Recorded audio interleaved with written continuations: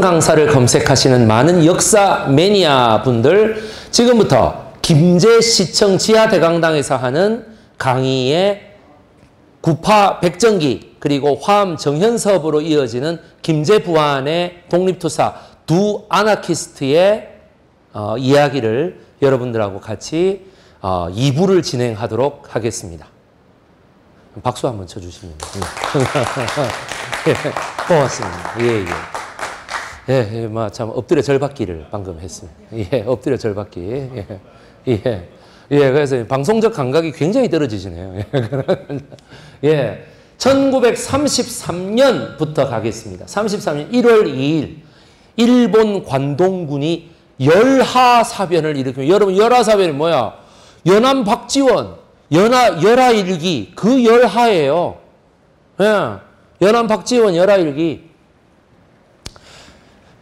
영조라는 임금이 있으니 조선에 영조의 첫 번째 딸이 있었다. 화완옹주라고 하는 딸이 있었다. 그 화완옹주뿐만 아니라 화평옹주, 화엽옹주, 화해옹주, 먼 옹주, 먼 사도세자도 있었고 뭐 다 있었는데 나머지는 다 싫어. 화완옹주만 좋아. 어, 우리나라에서 아마 자식이 10명 이상 되는데 그 10명 이상 가운데 편애라는 걸 가장 실천한 사람이 영조일 거예요. 어, 정말로 제가 그 유튜브에 보시면 약 460만 조회를 기록한 제 강의가 있습니다. 사도세자와 영조라는 강의가 있습니다. 그 강의의 핵심 내용은 보통 사람들은 영조가 아주 훌륭한 임금이고 사도세자가 미친놈이라고 다들 생각을 하시는데 저의 강의는 그렇지 않습니다. 영조야말로 미친놈이고 사도세자야말로 최고의 형군이다. 내가 이 강의를 풀어나갑니다. 이것이 지금 노론과 소론의 대결로 보시면 됩니다. 사도세자가 소론이고 노론이다. 이렇게 보시면 돼요. 여러분 그 노론 계열의 가장 유명한 사람, 유명한 사람, 훌륭한 사람이에요. 유명한 사람, 이완용이라는 사람이 있습니다. 노론 계열. 그 다음에 소론 계열의 가장 유명한 사람 누가 있을까요? 두 사람이죠. 안중근, 여운형. 예, 두 사람이 되겠습니다.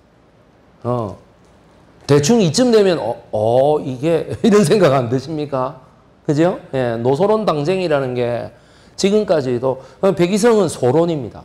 학계의 주류는 뭘까요? 노론입니다. 그쵸? 예, 여기 내려와서, 아, 조한백이 참 업적이 많아요. 뭐, 어, 그래서 철학도가 정말 대단한 정치인이에요. 이러면 어떻게 돼? 노론입니다. 아시겠습니까? 어. 그 노론은 저한테 항상 이렇게 얘기합니다. 야, 그렇게 해야 돈이 벌리고 네 교수 자리가 보장되는 거야, 임마. 니처럼 그렇게 임마 화암 정연섭 가리고 뭐 기리고 이러면 어떻게 돼? 평생 교수 못 돼. 네 마누라만 고생해. 이 말이에요. 예. 네. 근데 이제 그런 고생도 상관없다는 마누라, 마누라를 얻었기 때문에 다행인 거죠. 어, 교수 안 돼도 된다, 뭐 이런. 예, 그렇습니다. 예, 그래서 뭐 교수 월급보다는 예, 많이 버는 것이 목표이기 때문에. 예, 돈으로 한번 승부를 내보자. 음. 열화사변으로 산하이관, 만, 저기 만리장성의 최고 오른쪽인 산하이관을 점령합니다.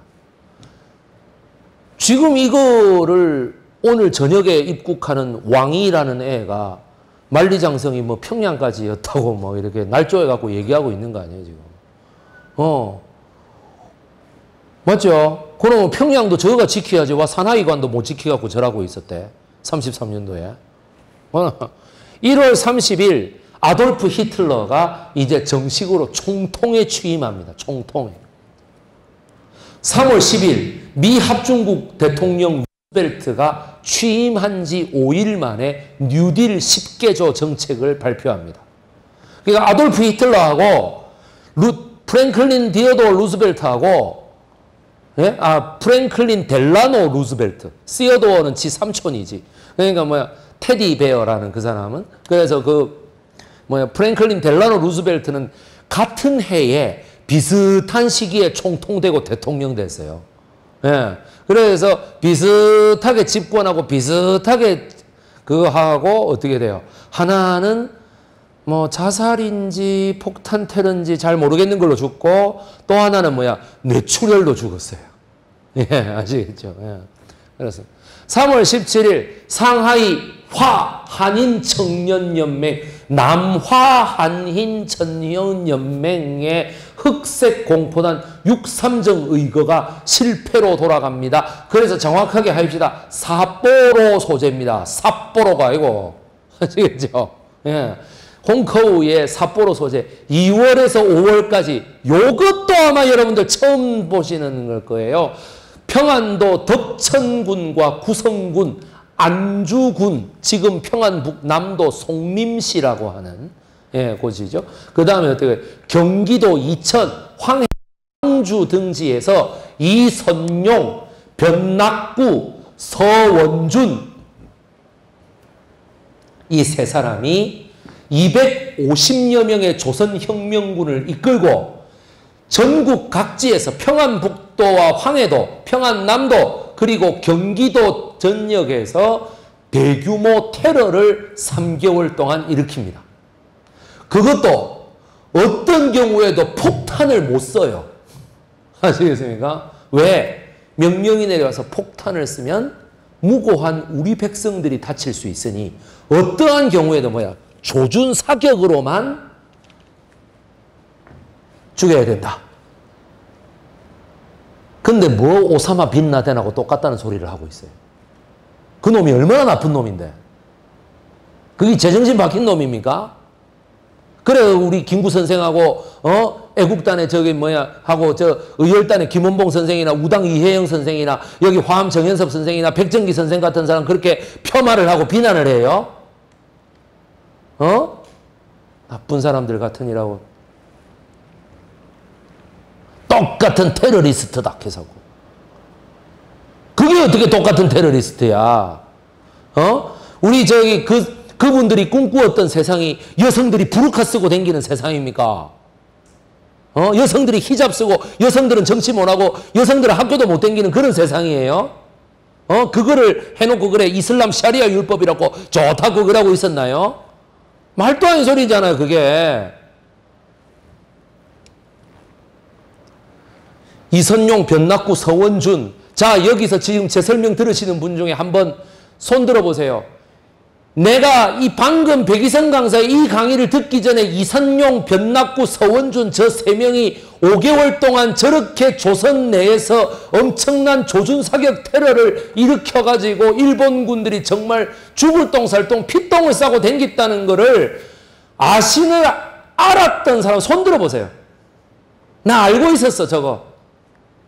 나는 이미 다른 유튜버들이나 역사 강사들이나 뭐 역사전을 그날을 통해서 이미 다 알고 있어서 고등학교 때 역사 선생님도 다 설명했고 저 다 알고 있어서 손 들어보세요. 단 한 명도 없죠. 저 우리가 몰라도 됩니까? 80년밖에 안 지난 역사인데. 안 그러시면 아니 뭐 그래 좋다 그래 90년 지났다 하자. 88년 지났는데 몰라도 되냐고. 250명이 일본 게릴라전을 벌여서 이때 죽은 일본군과 친일파 총 숫자가 몇 명? 950명. 여러분. 지금 우리 여러분 대한민국에서 이런 사람들이 뭐 이래 이런 테러리스트들이 막 설친다고 생각해 봐. 그래 한 5개월 동안 950명 죽었다 생각해 봐. 여러분 그냥 자 내년부터 가르치지 맙시다 이라고 그냥 넘어갈 일이에요 이게. 한번 생각해보십시오. 전국의 경찰청장하고 막 군부대장은 다 모가지야, 그거는. 있을 수 없는 일이야. 대통령 탄핵 됩니다. 대통령 탄핵. 여러분, 바로, 예. 무슨 말, 이해가 되시죠? 그때 조선 총독부의 그, 여러분, 매일매일 조선 총독이 뭐예요? 피똥을 쌌다 하거든. 무슨 말인지 아시겠어요? 자, 그 다음. 그래서 어떻게 돼? 3월 27일 날 일본이 국제연맹에서 탈퇴합니다. 탈퇴해버립니다.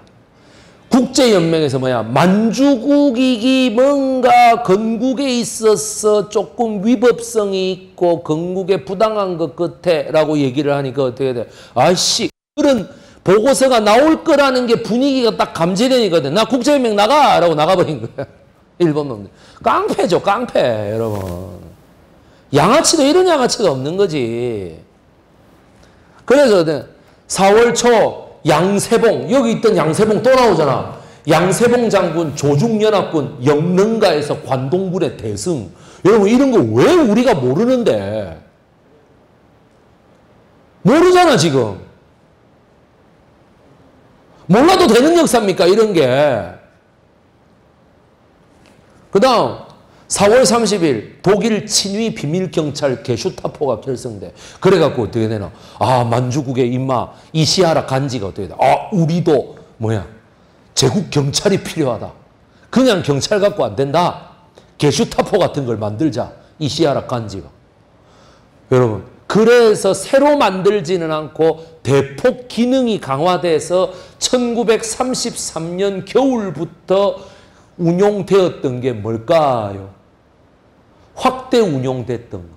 여러분, 그 유명한 노덕술, 하팔락, 김덕기가 했던 그 뭐야? 고등계, 여러분. 고등계. 그래서 서울 종로경찰서에 고등계가 확대 개편되니 그때 서울 고, 종로경찰서에 한 명의 경찰관이 부임합니다.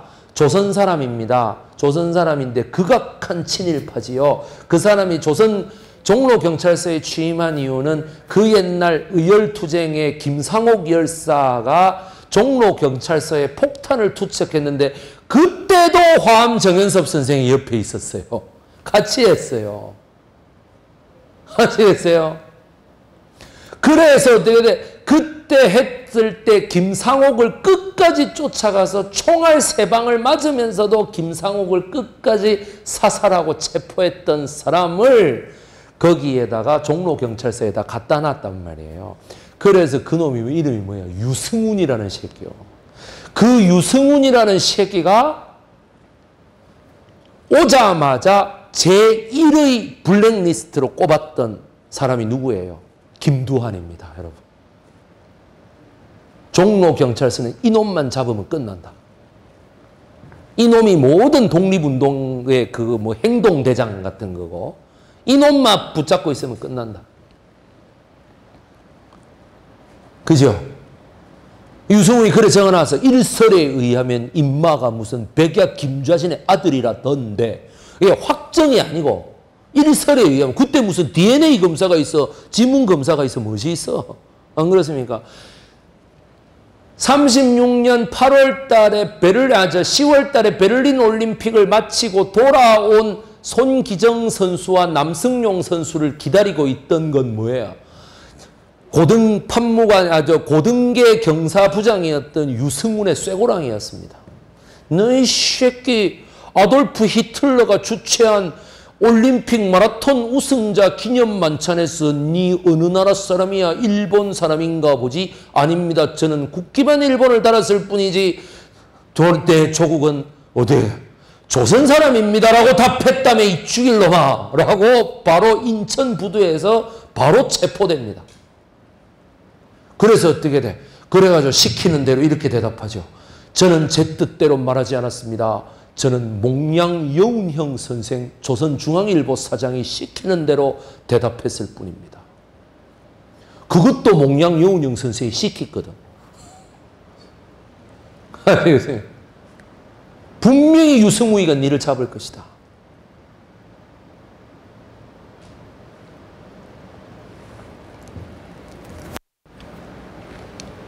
유승우이 그래가 나중에 해방되자마자 그 45년 9월 달인가 김두하이가 남산에서 목을 쳐버립니다. 참수해버리죠. 잡아가지고. 예, 그것도 뭐 어디까지 믿어야 될지 모르겠는데 하여튼 죽은 건 사실입니다. 김두한은 하도 뻥이 심해서. 다뭐 자기가 잘해. 근데 자기가 관여했던 건 맞아요. 예, 스스로 이거는 좀 나는 아니지 않느냐. 이렇게. 어쨌든 죽었어요. 예. 5월 내내 일본 관동군이 조중연합 독립군을 중국하고 합쳤죠. 이거를 합치게 만든 게 누구라고? 아까 뭐야? 6.3정 의거가 이걸 합치게 만든 거라. 그런데 수많은 사상자가 발생, 5월 내내 공격합니다. 7월 1일 만주 독립군 2,500명, 중국군 2,000명, 한국군의 지청천 장군이 이끄는 지도하에 만주 대전자령에서 5천 명 이상의 만주 관동군을 참패시켜버립니다. 사상자 3,700명, 예, 행방불명이 약 400명, 포로로 잡은 게 약 1,000명, 대승이죠. 만주 관동군의 완전 대승입니다. 그런데 모르잖아, 여러분들이. 청산리 대첩보다 이게 더 큰 거 아니에요, 지금? 생각해 보세요. 맞죠? 한국 독립군 퉁닝현을 관동군을 공격했는데 중국 연합군이 여기에서 배신 때려버립니다. 왜? 장제스가 배신하라 그랬거든. 야, 이거 조선 독립군이 너무 이게 우리보다 전공이 혁혁한가, 아이가? 이러면 안 되지. 그래갖고 어떻게 돼? 도와주기로 해놓고 마치 탈라스 전투 같아. 고선지 장군 도와주기로 해놓고 어떻게 돼요? 아랍 연합군이 싹 뒤로 빠져버리잖아. 그거하고 똑같은 거예요, 지금. 그래서 지청천 장군이 이제 어디로 들어가? 저 조직을 데리고 저기, 저기 남쪽 광저우로 가갖고 어떻게 돼? 조선 광복군이라는 이름으로 바꾸게 되고 그때 당시에 그 남쪽 지방에 있어서 그 사람들 지청천과 그 상해 상해 임시정부가 아니라 광저우 귀저우 임시정부의 그 중간다리 역할을 했던 사람 누구? 화암 정현섭 선생입니다. 아시겠습니까? 그때 구파 백정기 선생은 이미 감옥에서 순국하셨으니까요. 예. 왕이는 이 역사를 알까요? 오늘 오늘 외교부장은 이걸 여기서부터 여기까지 다 알고 있을까? 그거 모르는데 외교부장 해도 되나? 하는 말이 자 독립군 장군 그들의 꿈은 무엇인가? 파시즘의 척결입니다. 바로 즉 뭐야 이러이러한 게 아나키즘이다라는 것보다는 파시즘을 척결하는 게 첫 번째 목표란 말이야 자기네들이 그러면 어떻게 돼? 상생 공동체의 부활입니다. 이게 서로 한 명이 지배를 대해서 피지배 계급을 수탈하고 막 짓밟는 형태로 가는 파시즘이 아니라 상생하는 공동체로 가자. 너무 많은 권한을 지배계층에게 주지 말자라고 하는 데서 오기 때문에 어떻게 돼? 한국 독립군 뭐야 쌍성보 전투, 사도하자 전투, 대전자령 전투, 영릉가 전투, 홍경성 전투가 다 이렇게 돼서 대전자령 전투 5번이 여기란 말이에요. 4번이 사도하자 전투고 여기가 3번 쌍성보 전투입니다. 이 모든 것이 독립군의 대장들 보시겠습니다. 자, 뭐야 남만주의 호랑이 여기 1번 홍 영릉가 여기 홍경성 전투의 영웅 김동삼 장군, 여러분 의성 김씨, 의성 김씨의 완전 종손이고 이분도 우당 이회영처럼 경주 이씨잖아요. 그러니까 노블레스 오블리주를 실천하시면 자기 땅 다 팔아 노비 다 해방하고 그래 노비들이 독립군 한다고 다 따라오고 이래고 똑같아요 우당 이회영하고. 그럼 그래서 김동삼 이 사진이야말로 무슨 사진인지 아십니까? 바로 독립 저 일본 경찰이 너 머그샷 찍을 때 병신춤 춰봐 막 이러고 있는데 어떻게 딱 째려보면서 재판도 필요 없다. 나한테 그런 걸 시킬 거면 이 자리에서 죽여라. 이 말이 어. 그러고 어떻게 돼? 째려보면서 찍는 거예요. 째려보면서. 조국 광복이 되지 않았는데 무덤 따위는 필요 없다. 화장해라. 그래서 어떻게 돼? 바다에 뿌려라. 그러면 그 바다에 뿌리면은 우리 조국 바다에 내가 둥둥 떠서 절대 태평양으로 나아가지 않겠다. 광복이 되기 전에는. 바다에 둥둥 떠가지고 어떻게 돼? 일본 놈들이 배 타고 건너오면 다 죽이겠다. 이렇게 된 거예요. 아시겠어요? 여기 대전자령 전투 그 엄청난 대첩의 주인공 지청천 장군입니다. 혹자는 이청천이라고 하기도 해. 그게 뭐야? 외갓집 성씨를 따르면 이청천이에요. 그게 왜 그럴까요? 체포될까 봐 지청천이라 했다가 이청천이라 했다 이랬거든. 그 무식한 사람이 내가 지청천이라 말한다고 저 백이성 강사 기본이 안 돼 있다. 위키 대백과에 보면 이청천이라고 나와 있는데 이라고 앉아 있어. 나쁜 놈들. 그냥 뭐야 우당 이회영. 아까 여러분 뭐야 그 조선 게릴라 작전 서원준이라는 사람 여러분 보셨죠? 예. 평양 점원들 가게에 있는 점원들의 노동조합 조합장이에요. 아시겠어요? 우리가 알아요, 이 사람을? 모르잖아. 그 다음 여기 이분이 바로 만주의 억만장자. 딱 봐도 억만장자처럼 생겼잖아. 그죠? 귀티가 나죠? 최운산 장군의 모습이. 여기는요. 아까 보셨던 누구? 조선혁명군 총사령관 양세봉 장군의 초상입니다. 여기는요. 우당 이회영 장군의 초상 사진이고 이 사람은 누구일까요? 대전자령 전투에서 지청천 장군에게 마지막에 합류함으로써 간보다가 합류한 게 아니라 교통의 불편으로 마지막에 합류함으로써 바로 전쟁을 승리로 이끌었던 여러분 여기 여러분 보시면 여기에 길림성의 연변 조선적 자치주 있는 거는 다 아시죠? 여기에도 있습니다. 여기 만주의 장백현 조선 자치현이 있습니다. 그의 시조인 소래 김중건 선생의 모습입니다. 소래 김중건 아마 이거 처음 하실 거야. 이분이 교주예요. 원래 대종교 신자였는데 제가 대종교 공식 강사거든요. 대종교 교주였는 아, 그 대종교의 한 종사 대형이었는데 어디에 대요? 원종이라고 하는 신흥 종교를 하나 만들어서 나갔어. 자, 이분이 대전자령 전투에서 원종의 정신무장이 된 500명이 가세하면서 전세가 결정적으로 지청천 장군 쪽으로 오게 됩니다.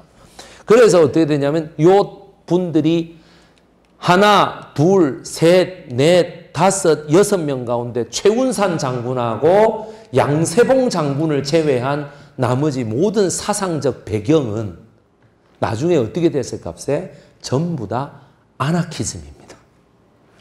마을 공동체의 부활입니다. 안 믿어지신다고 제가 다음을 보여드리죠.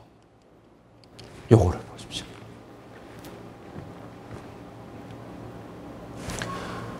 요게 뭡니까? 여기 김제입니다, 여러분. 여기가 김제입니다, 김제. 이게. 여기는요, 여기는 호남성. 호남성, 요, 요, 요, 뭐야. 구파와 화암이 아나키스트가 된 이유가 뭐냐? 1923년 9월 중국 후난성에 있는 동정호수, 퉁팅호수라고 하는 곳에 가서 농업 이상촌 건설 운동을 합니다. 아나키스트들이. 요런 모습입니다. 요런 모습입니다. 중국 호남성에 그래서 옛날에 15세기 때 명나라 때부터 호광숙, 호남과 호북, 호, 호난성과 후베이성이 숙 익으면 잘 익으면 천하족, 예, 호광 즉 호남과 호북이 잘 익으면 천하가 풍족하고 배부르다라는 것이 옛날 속담에 있었어. 중국 속담에. 그 말을 들을 때 여러분 호광숙이라는 말을 호남숙으로 바꾸면 화암과 구파에게 호남숙 천하족이라는 말이 안 나오겠습니까? 요거를 볼때 우리가 어떻게 돼? 어디 가서 외국에 제가 외국 방콕하고 싱가포르에서 교민 생활을 4년 했잖아. 갔을 때 어딘가 모르게 한국 그 하고 비슷한 게 내 고향하고 비슷한 게 있으면 그것을 어떻게 돼요? 그뻥 넘어가겠죠? 진짜 사기를 당해도 금방 안 나가겠나? 그죠? 가서 딱 보니까 어떻게 돼? 그 전까지는 아나키즘이 뭔지 모르는데 딱 가서 보는 순간 내 어렸을 때 내가 살았던 김제, 부안, 정읍하고 똑같구나. 여기서 농촌 공동체를 하고 어떻게 돼? 19살에 수리 시설을 부수는 일본 헌병을 보고 열받아갖고 좁혀갖고 전치 육주 나오는 바람에 놀래갖고 튀긴 구파 백정기가 얼마나 늘 이 고향을 그리워했을까요? 그죠? 누구 말 맞다나 머나먼 남쪽 하늘 아래 그 노래 생각날 거 아니야? 그리운 고향 맞죠? 사랑하는 부모 형제 이내 몸을 기다려 이렇게 나올 거 아니에요. 맞죠?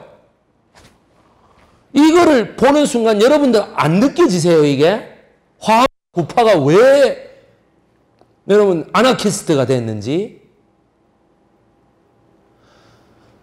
이게 1929년 달의 일입니다. 1923년 9월의 일입니다. 아니 아니 이거 지금 잘못 적었는데 29년이에요. 1929년. 그래서 어떻게 돼? 거기에서 29년 했을 때 32년 아까 12월 달에 50만 호를 50만 석을, 석을 갖다가 싹 다 걷는다 했을 때 이 공동체가 다 파괴된다는 생각 안 하겠습니까? 내 고향이 작살나는구나. 특히 뭐야? 그 50만 석 중에 30만 석이 어디서 걷는다고? 김제. 김제가 언제부터 다시 농사가 잘 됐는지 아세요? 여러분, 32년에 그렇게 걷어가고 나서 김제가 언제부터 농사가 다시 잘 됐게? 여러분, 55년도부터 잘 돼요. 55년도부터. 그래서 1936년도에 그 만경강 하구의 군산에서 그 벌어지는 사건 뭐야? 채만식이라는 사람이 쓴 소설 뭐예요? 탕류에 보면 그 중심되는 게 뭘까요? 쌀섬을 갖고 증권 투자해서 도박하는 거 아닙니까? 미두라는 그 그거잖아요. 아니 쌀이 부족하니까 그걸로 도박을 하지 안 그러세요? 쌀이 넘쳐나는데 넘쳐나는 자원 갖고 도박을 왜 합니까? 여러분 그게 채만식이 그거를 씀으로써 어떻게 돼? 일본 경찰에 어마어마한 검열을 받아요. 너이 새끼 이거 왜 썼어?부터 해가지고 아마 군산이야말로 그 김재평의 모든 집산이 다 모이는 곳이거든. 그 피 맺힌 역사를 아는 그가 옆에 없어도 아는 사람과 옆에 있어도 알지만 모르는 척하는 사람이 60년 총선에서 붙은 거예요. 아시겠습니까? 그래서 김제 시민들은 결국 옆에 있어도 애써 모르는 채 하면서 아무 일도 없던 것처럼 덮어버린 사람을 선택한 거예요. 아시겠습니까?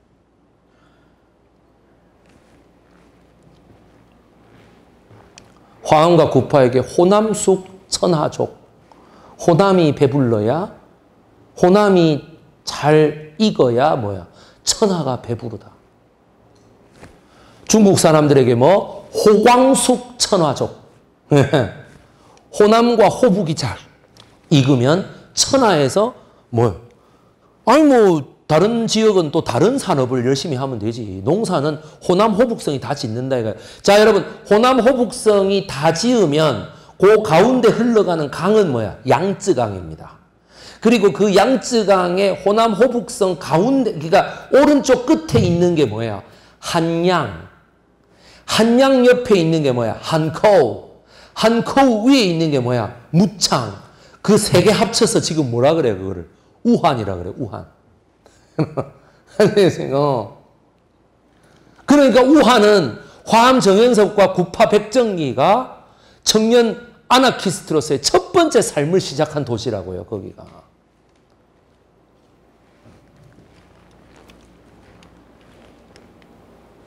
국제연맹 리튼 조사단 보시겠습니다. 1931년 9월 18일 만주사변이 일어납니다. 관동군 만주 점령 가속화됩니다. 국제연맹에 중국이 일본을 피소합니다. 국제연맹에 이거를 좀 멈춰주시오 라고 얘기를 합니다. 이 사람이 영국의 조사단 대장인 리튼 백작이라는 사람, count, count, count 리튼이라는 사람이에요. 리튼. 32년 1월 리튼 조사단 결성, 만주국 건국 국제법 위반 조사 착수, 32년 2월 29일 일본을 방문해요.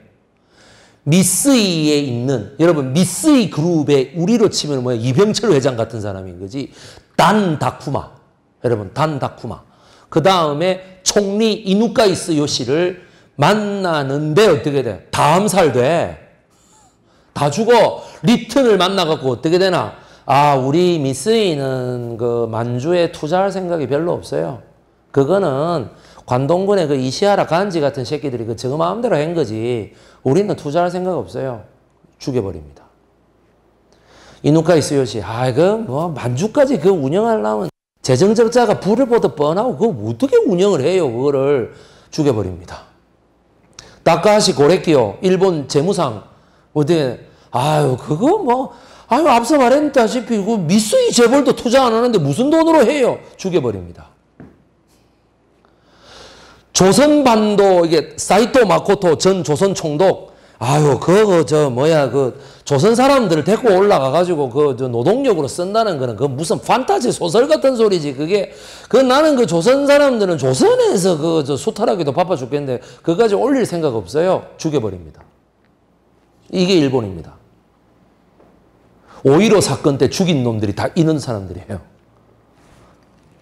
그 다음에, 그래서 어떻게 돼? 온건 파라는 건 이제 일본에 설 수가 없어. 전부 다 파시스트야. 그래서 3월 20, 25일, 4월 5일까지 다시 중국을 가서 장제스, 중국 국민당이죠. 그 다음에 왕징웨이, 여러분들 왕정위라고 하는 사람, 어? 중국 친일 정권의 대표자 장제스의 라이벌이죠. 그 다음에 장쉐량, 여러분 그 장작림의 아들 만주군벌 장쉐량하고 연속적으로 면담을 해요. 32년 4월 20일 만주 펑텐 봉천에서 황제 푸이하고도 면담을 합니다. 마지막 황제 아시죠? 그래서 항일 운동 세력을 만나려고 해요. 리튼이. 아시겠습니까? 누구? 누구? 김동삼. 여러분, 도산안 창호. 여러분, 다 만나려고 해. 일본이 극력으로 저지합니다. 특히 경상북도의 며느리 그 누구야? 남자현 열사는요. 손가락 두 개를 끊어갖고 리튼한테 보내요. 소포로. 나를 만나달라고. 안 만나면 니를 죽이겠다. 그래서 리튼이 무조건 만나려고 했어. 그래서 관동군이 어떻게 돼? 무조건 남자연을 사람 풀어가 잡아버렸어. 그래가지고 어떻게 감옥에서 옥사합니다. 남자연. 그래서 여자 안중근이죠. 김동삼도 결국 그것 때문에 잡히고 중국 정부에게 어떻게 돼? 일본이 중국 정부의 이 장수, 이저 뭐야, 왕징웨이를 매수해 가지고 벌렸던 사건, 미스야 협정이라는 것을 맺어 가지고 만주에서 독립군들을 하나당 잡으면 두 당 우리나라 돈으로 3억씩 주겠다. 수괴급을 잡으면 5억씩 주겠다. 중국 군들이 눈이 뒤집히가 조선 놈들 잡으러 댕깁니다. 미스야 협정에서. 그때 그거를 미스야 협정의 6개월간의 광풍에서 도산한 창호도 건져내고 이렇게 그 미스야 협정을 없애버렸던 사람 대종교의 박찬익 상해 임시정부 외교부장입니다. 서울 공고 출신이죠. 서울 북공고. 지금 저 영등포 아저 뭐야 동작구에 있는 거 있잖아. 대방동에 있는 거. 박찬익 대형이라는 사람이 그렇게 합니다. 1932년 6월 20일 리튼 조사단 활동이 종료됩니다. 그려고 리튼이 여러분 북경에 머무르면서 10월 2일 날까지 공식 보고서를 쓰고 공식 보고서에서 어떻게 돼? 일본은 만주국을 합법적으로 건국하지 않았다. 국제법상 이것은 불법이다. 라고 정확하게 얘기합니다. 예. 왜 만주 항일 운동 세력을 만나지 못하게 하느냐? 일본 사람들에게 김동삼, 안창호, 그 다음에 어떻게 돼? 우당이 회영도 그때 리튼을 한번 만나려고 했어요. 장쉐량을 통해서 만나고 싶어 했어. 그래서 그때 어떻게 돼? 여러분, 2010년에 방영됐던 드라마 자유인 이회영에 보면은 대련항구로 가잖아요. 그게 원래는 리튼이 천진에 있다는 소리 듣고 천진 한 번 갔다가 대련으로 가거든. 근데 이제 드라마에서는 그냥 대련으로 바로 가는 걸로 했어요. 어, 리튼 만나려고 가는 거예요, 그거. 그래갖고 이제 뭐 하려고. 지청천은 자기를 만나게 해달라고 했어요. 양세봉도 자기를 만나게 해달라고 했어요. 여러분, 32년도에. 김일세의 그런 새끼는 그건 축에도 못 끼는 새끼요, 그거는. 리튼이 그런 놈 만나주지도 않아요. 아시겠습니까?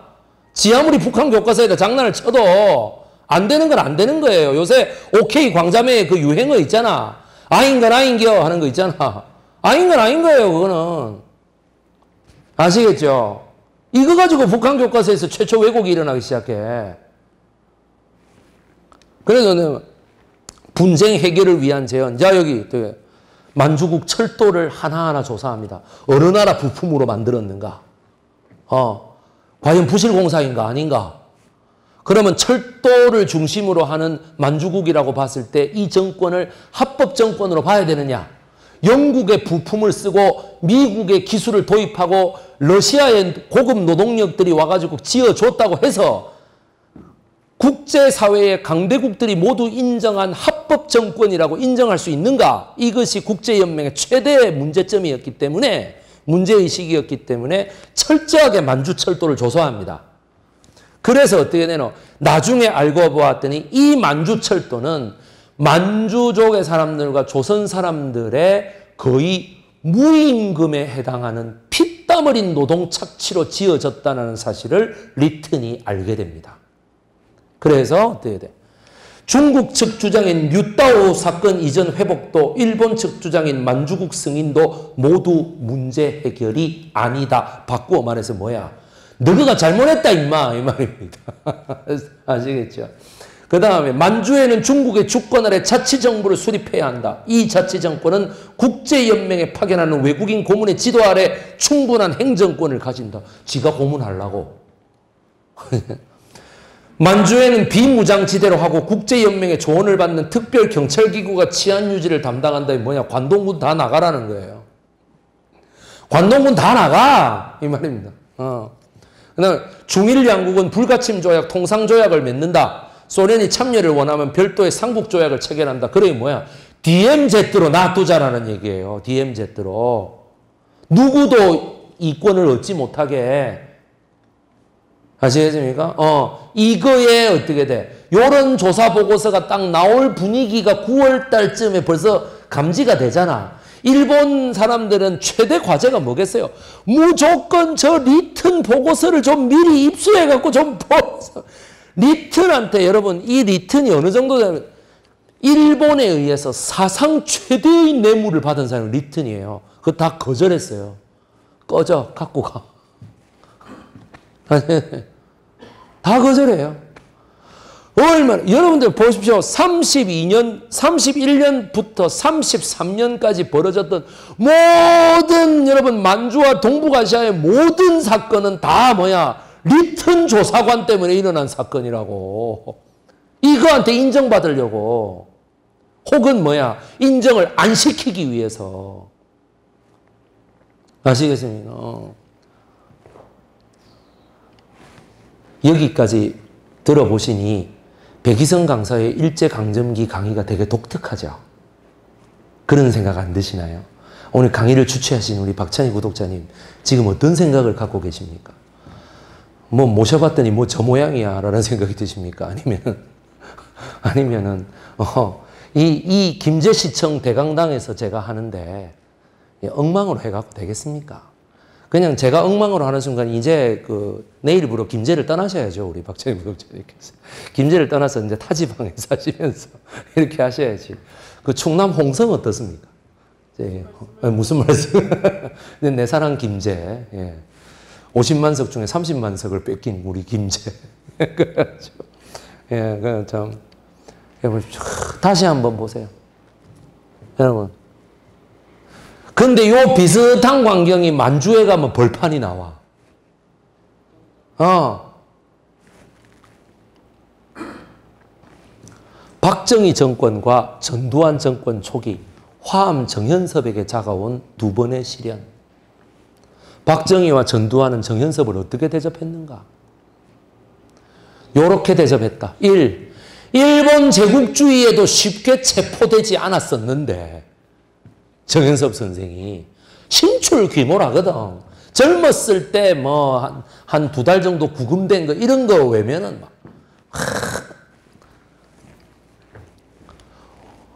막5.16 군사 쿠데타.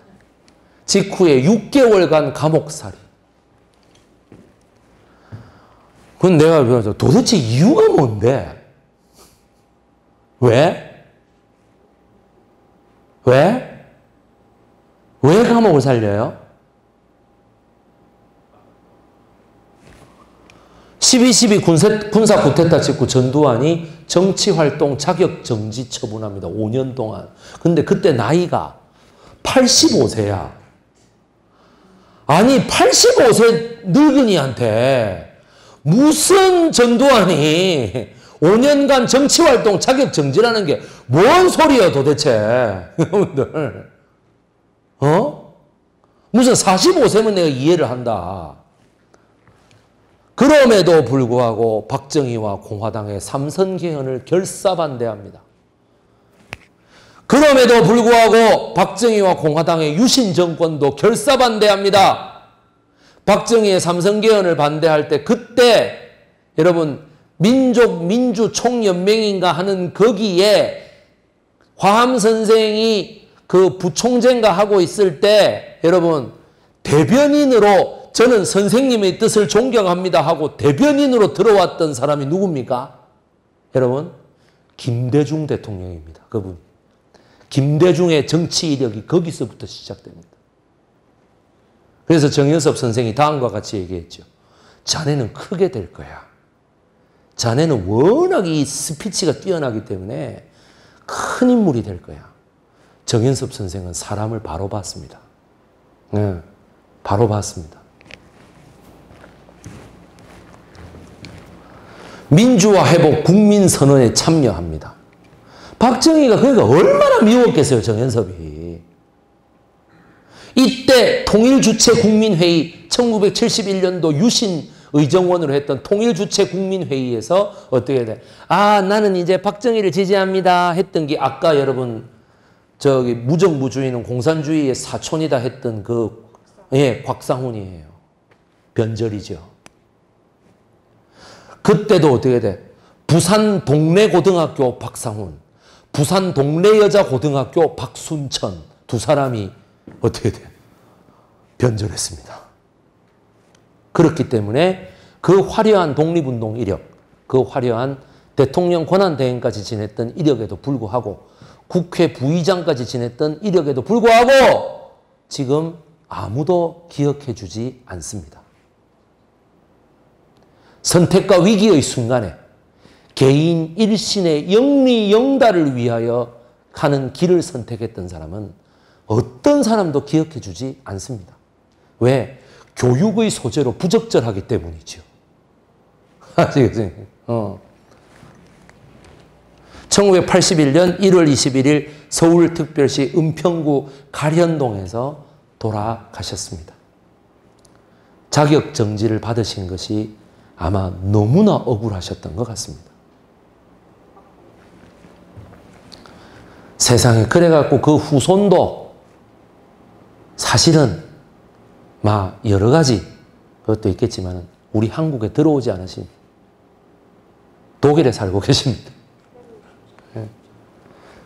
예. 아니 내 아버지한테 이래 했는데 내가 왜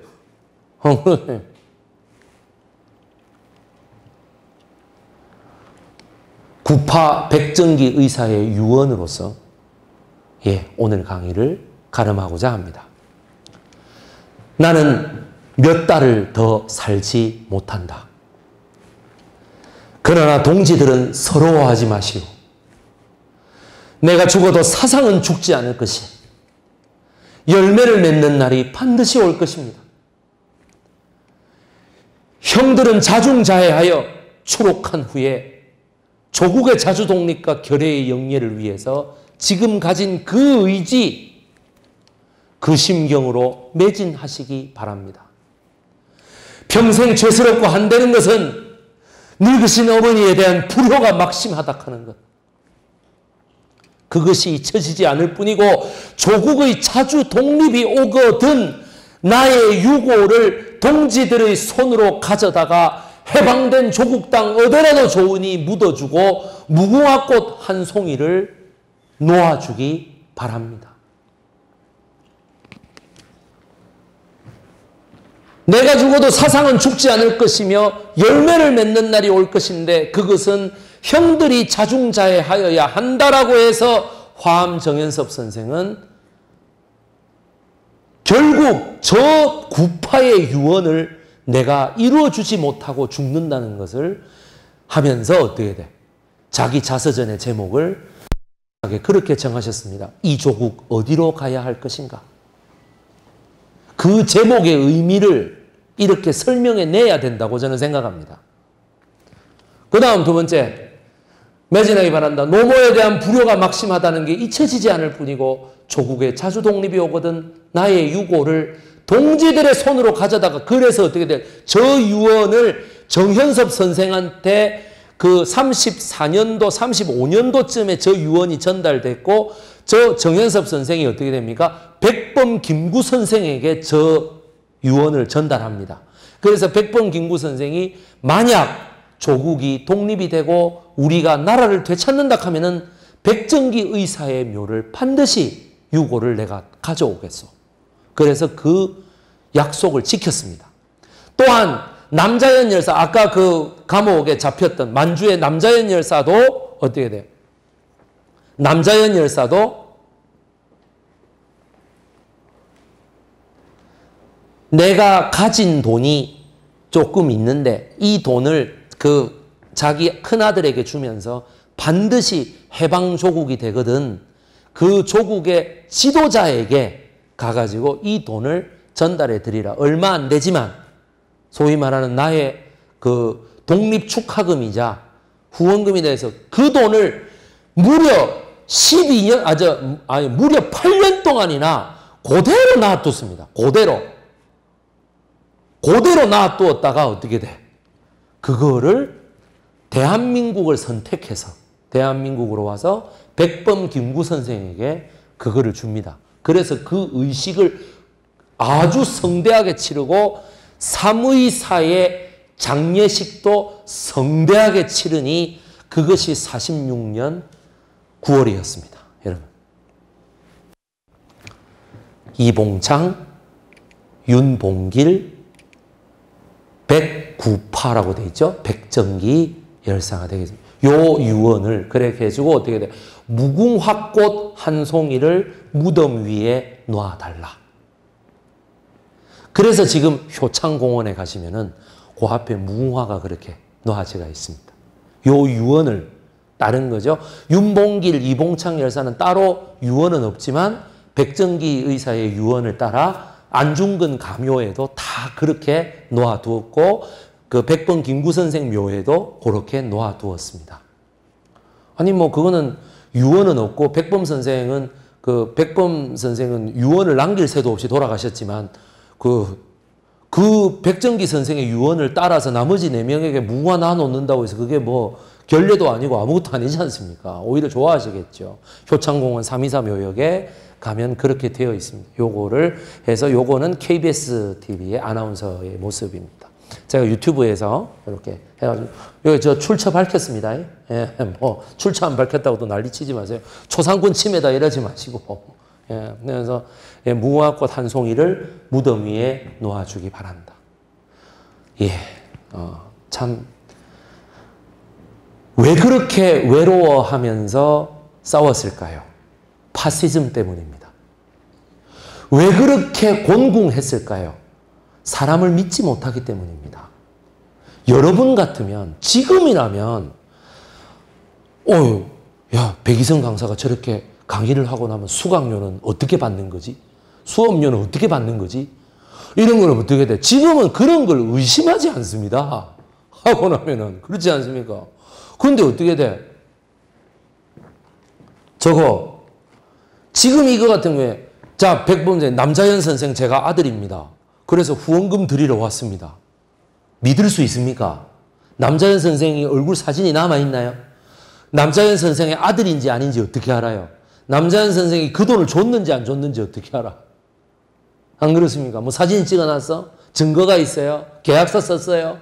백번 김구한테 주기로 했다고 뭐 계약서 썼나요? 증인이 있나요? 아무것도 없죠.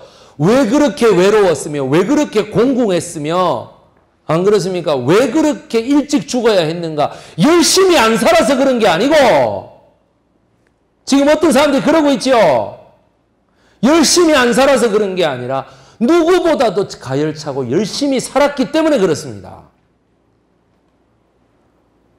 왜 됐는지, 왜 우리가 기억해야 하는지, 왜 김제가 특별한지, 왜 부한 사람인지, 왜 정읍도 엄청난 고초를 당하고 특히 고창의 이 고초라는 게 여러분들 고창 군수는 이걸 알까요? 32년도에 이런 일이 있었다는 걸. 난 고창 군수가 누군지도 모르겠거든. 내가 오늘 강의가 끝났습니다. 여기까지 강의하겠습니다. 들어봐 주셔서 너무 감사합니다.